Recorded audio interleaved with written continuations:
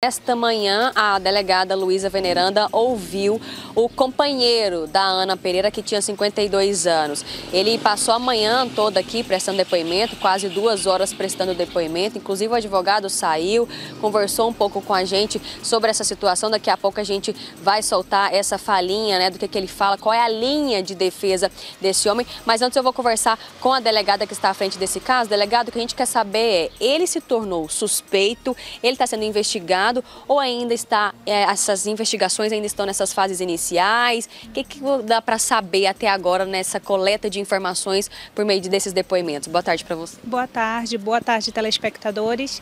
Então, é, nós inicialmente estamos abordando novamente todos os, os envolvidos, né? Porque houve pontos de contradição que eu identifiquei no auto de prisão em flagrante. O motorista de Uber contou uma versão, o, o companheiro dessa vítima contou outra versão, então por isso que ele foi intimado novamente e prestou declarações. Ele negou a situação de violência doméstica anterior, falou que o relacionamento era harmônico, que eles nunca tiveram discussões, problemas, é, explicou que havia um histórico de possessividade e ciúme da, da senhora Ana, né? E por fim ele entrou em contradição durante o interrogatório, né?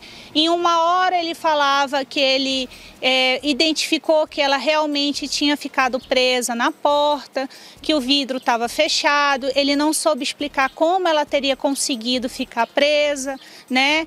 E, e que ele percebeu que houve o atropelamento, mas decidiu seguir viagem porque ele estava muito alcoolizado. Em outro momento ele já fala que ele estava tão bêbado que ele não se recorda, que ele desmaiou no carro. Então isso foi batido durante o interrogatório porque houve essas situações de contradição. Ele tinha me autorizado a ter acesso ao aparelho celular. É, depois, na hora de desbloquear, ele falou que ele já não estava conseguindo, não lembrava da senha, que ele achava que o celular dele tinha sido hackeado. Então, assim, elementos que, que trazem estranheza, principalmente quando a gente não deve nada, né? Ele foi acompanhado por advogado durante o procedimento e o próximo passo agora é ouvir novamente o motorista, né, até para verificar se existe um vínculo anterior de amizade entre eles.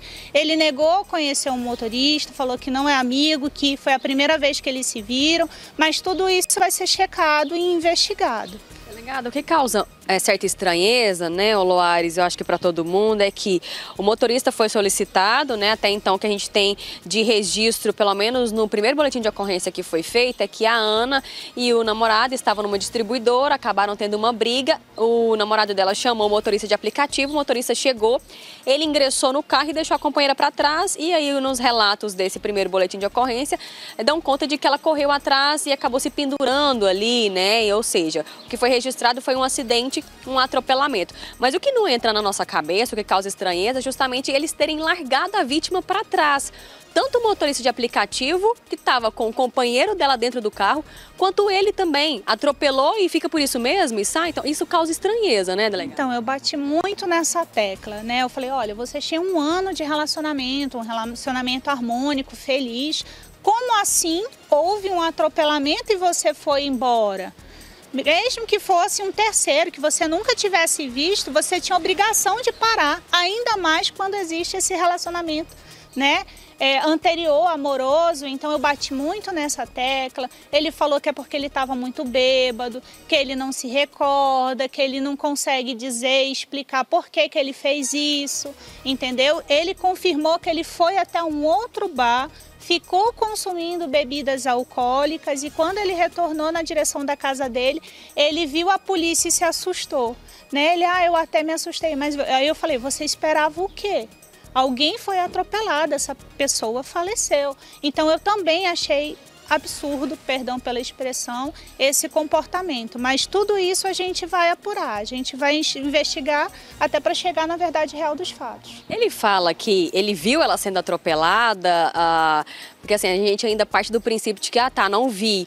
Mas ele fala que viu ela sendo atropelada e que não se importou. O que, que ele fala assim, de deixar da vítima para trás? Ele entrou em contradição em diversos momentos. Num primeiro momento, ele falou que viu ela pendurada na porta, que percebeu que ela se desequilibrou, caiu e foi atropelada, e que ele achou que não era nada sério e decidiu ir embora. Num, num outro momento, ele fala: Ah, não, eu estava muito bêbado, eu não lembro, eu dormi. Aí depois, novamente, ele fala: Não, eu estava acordado, tanto é que eu estava falando palavras desconexas. E teve até um momento no interrogatório que eu me exaltei, porque eu falei: Ó, oh, você precisa falar a verdade. O que foi que aconteceu? Você estava acordado, não estava? Você viu, você não viu? E, e, eu percebi o desconforto dele. Mas é por isso que é tão importante agora gente ouvir esse motorista de novo, tentar identificar testemunhas. Ontem nós fomos até o local, é um local que é muito escuro à noite é, nós conseguimos identificar uma testemunha que ouviu gritos, né? E esse grito pode ser importante até para o histórico do que foi ouvido. Mas se você viu alguma coisa, se você ouviu alguma coisa em relação a esse fato, procure a delegacia de polícia até para a gente tentar esclarecer o que realmente aconteceu. E até de forma anônima pelo 197. Só para a gente encerrar rapidinho, delegado, o que, que acontece agora com esse companheiro? Ele saiu aqui pela porta da frente da delegacia, a gente inclusive viu. O que, que acontece com ele agora?